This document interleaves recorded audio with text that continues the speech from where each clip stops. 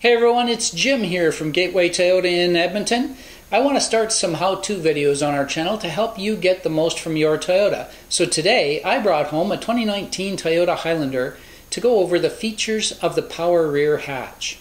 Something I like about the Highlander is the ability to open the rear window in case you want to put something in or remove something but don't want to open the hatch. The first thing I want to tell you about the rear hatch is that it is adjustable. If I want to stop the hatch from opening or closing all the way, I can simply press the button to stop it.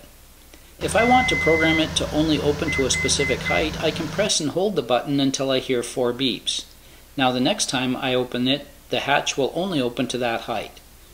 If I want to remove this setting, I can press and hold past the four beeps until I hear another two beeps and it will return to the fully open setting.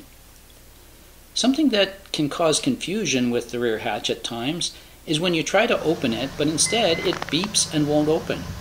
If this happens, first check to ensure the rear window is latched. If not, close it and try again. If the window is latched and it still won't open, check the override switch in the glove compartment. Once the window is latched and the button is not in the override position, things should work properly. I would love to hear from you with your suggestions for future videos. Is there something you would like me to cover in the next video? Please leave your suggestions in the comments below. Thanks for watching. If you found this video helpful, please hit the like and share buttons and consider subscribing to see more videos like this.